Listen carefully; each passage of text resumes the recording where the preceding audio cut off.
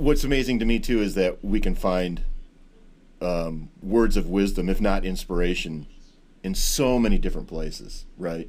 Yeah, It's the end of the you know Well, the Tonight you- Show run for Conan. yeah. I think you know truth when it hits you in the face. You're like, oh, that's that's true. He just spoke some serious truth. You know.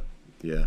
I think that that's the cool thing about music too. I think that one of the reasons I like songs so much is I feel like uh, what music's like main music's main possibility is that it can tell you the truth about something that you knew but couldn't articulate, you know, or it makes you feel something that you can't articulate, but it means something. And, and so I, I love that about like finding something in Conan because you can do the same thing with a with a song, you know, and you may not it may not ever have been the uh, the writer's intention, and that's one of the great things about art is that once it appears in the public space, then it's it's up for it's up for grabs, you know, as far as the way it can be can be used or you know within certain within certain parameters. So, can you speak better truth through the songs that you write and sing than you can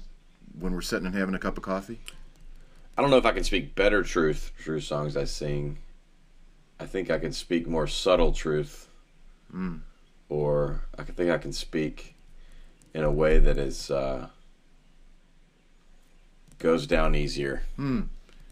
You know, Spoonful of sugar. yeah, that's right.